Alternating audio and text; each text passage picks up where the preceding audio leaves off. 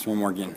All you really need is a bank statement. Bank statement for my to Oh, yeah. get my EBT I was card. say because anybody can state that you're baked. to, to, to get my bank statement back I thought you said bake. Did you hear what I said? Your bank statement. It Yes. costs like May I borrow your glasses because I've lost my uh, blue blocker style ones. If you let me And you don't wear them on the bucks, inside. And plus you're not allowed to. For the bank statement says what the they F and. F you see I have to have it to get my EBT card back. Why couldn't I have spent five bucks at the DMV, Willi? Because it's two totally different things for two totally different reasons. Oh yeah. Two totally different You things. got you're that for you. Awesome.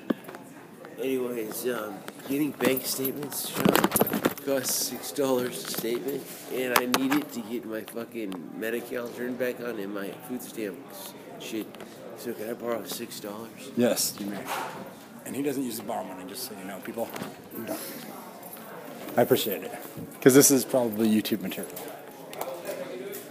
You know what I mean? You know what I'm saying, though? Do you realize you're taking the only thing off my face that